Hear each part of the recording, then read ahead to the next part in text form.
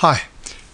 Now we have to express 3 cos theta plus 4 sine theta in the form r cos theta minus alpha. We're told that it's identical to this. Now this is a very kind of common type of question and just to give you a bit of background very quickly on how we'd go about this basically it can be shown that if you've got anything of the form a cos theta plus b sine theta. This can be written in the form r cos theta minus alpha, where r, okay, is equal to square root of a squared plus b squared, and the constant alpha is given by the inverse tan of the b number over the a value, inverse tan of b over a. And if you're unsure of these proofs, just go on my website and you'll find tutorials for this particular type of identity.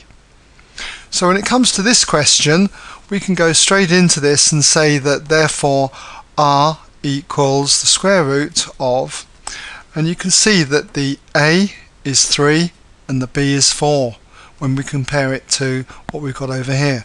So this is going to be the same as the square root then of a squared, 3 squared, plus b squared, b being the 4, 4 squared. And we've got here 9 plus 16, which is 25, square root of 25 then, which is going to be 5. And we always take the positive value of the square roots. I know square roots are plus or minus, but for this type of work we always take the positive value. And as for alpha,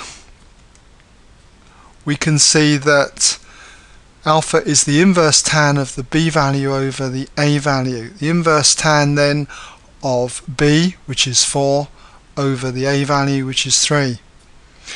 Make sure your calculator's in the right mode. For this question, we are told that alpha has to lie between 0 and 90 degrees. So you need to have your calculator in degrees mode. And if you do that on your calculator, you should find that you get 53 0.1301 and so on degrees.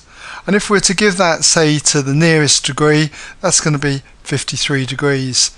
And we'll just state the accuracy in here to nearest degree.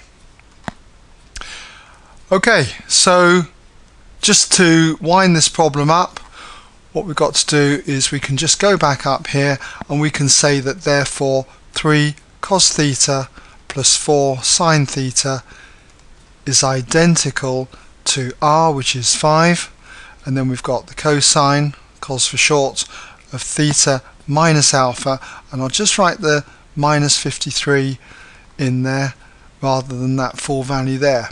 Okay minus 53 degrees. And that brings us to the end of this video